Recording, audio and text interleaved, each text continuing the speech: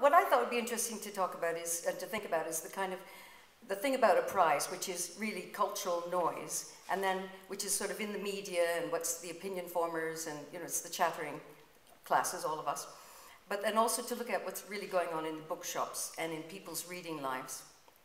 So I have some facts for you. First fact, which I'm sure will not come as no surprise to anyone in this room, is that women dominate the fiction market. We buy more, we sell more, we write more, we read more. And I'm talking about literary fiction here.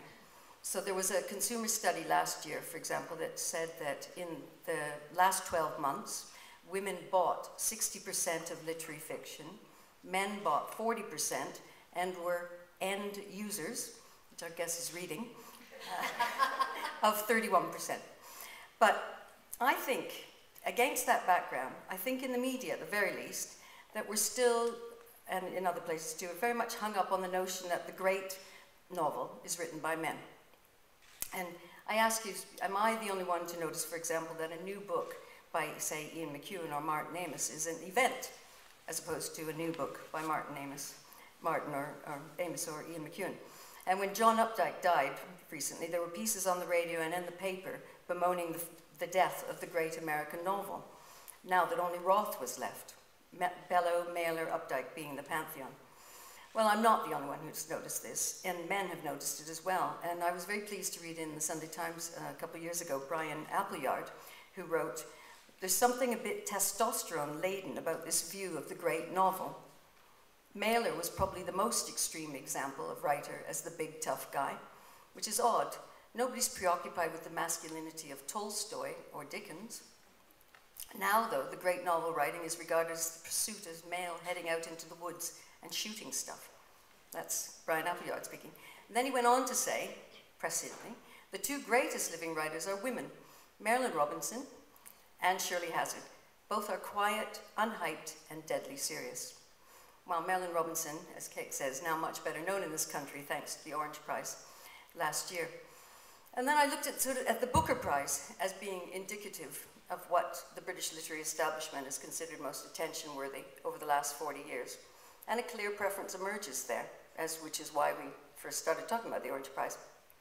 In the first 30 years, the shortlist was 63% male, 36% female. When the Orange Prize was set up in the years from 91 to 95, only five women were shortlisted compared to 24 men. And since the Orange Prize has been um, going, 56 men shortlisted compared to 32 women. Not saying women aren't winning these prizes, as you know they have. Um, over the last 15 years, women have won six times and men nine. But it's not just about numbers, this is about sort of perception, really, isn't it? Women write more fiction, read more fiction, but I still feel that there's a sense that the good male novelist is regarded as more noteworthy.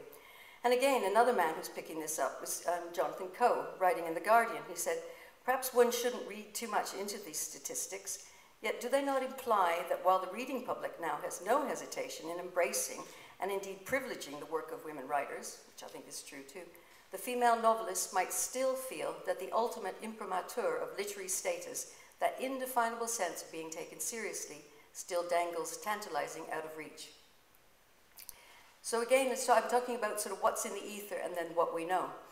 I wonder that if one of the things I was thinking about is that maybe the problem is around, around who writes the great novel is a confusion between genre and gender. So you have men's genre writing, and that's labeled crime, adventure, SAS, and it's not called men's writing. And yet genre writing for women, chick lit, romance, family saga, is called women's writing. And so somehow you have literary writing by men remaining quite separate from male genre writing in a way that literary writing by women does not. And I also think there's, there is that age-old problem that if you write about the intimate, if you write about love and feelings, you've written a domestic novel instead of fiction about big important things. Um, Rachel Cusk, a well-known British writer, says, the woman writer takes a big risk in taking femaleness and female values as her subject. And I was just riveted just recently, I listened to Helen Simpson, who was on Woman's Hour, who was asked, slightly criticized, I thought really, for writing domestic short stories. And her answer I thought was completely brilliant. She said, calling a work of fiction domestic is a political, not a literary judgment. I thought that was good. Elaine Showalter, who we publish, who's written Literature of Their Own and A Jury of Their Peers, she says she thinks that women novelists don't claim their space. So she said, this is a quote from her, she said, women have been too dignified and self-effacing to make their own claims to artistic immortality. Women novelists do not observe the rituals of male literary artistry that sustain historical memory. They rarely produce, manifestos, align themselves in a notable school, name their generation, whether lost or beat, and their genre, or feud heroically and publicly. And then she gave a really good example, I thought, is that if you don't name yourself, you get named. So someone from the audience asked her about chick lit, and she said, it would have been really interesting that if Bridget Jones and her successors had laid claim to what they were writing and called it, say, what she came up with, romantic realism, it would have had a different cast than chick lit. I'm not saying it's a man who called it chick lit by any means. It was probably a woman in publicity department or in, in journalism. But there you are. If you didn't get, if you don't um, get, if you don't claim your territory, um, you get named. So I, my, my sort of feeling about this is that I'm watching this is that you, you have to claim your territory. You have to call attention to yourself. You have to be visible, and you have to be immodest. But if you look at who's visible in the arts, on the stage, in galleries, in our own parliament, you can see that female invisibility is still an issue.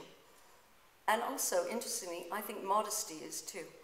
I think it's still better, perhaps safer, but certainly nicer and better behaved if women are modest, if we wait for the accolades, the attention, the praise, rather than act as if it's our due.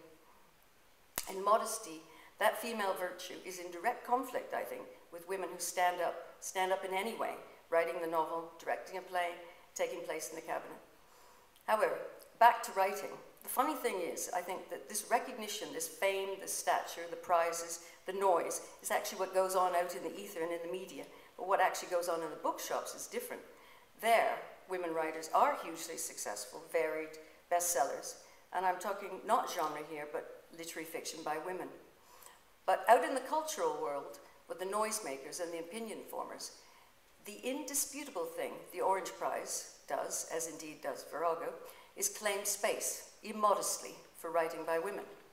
Now, of course, that gets a lot of flack, not least that male writers are excluded. Not male readers, but male writers.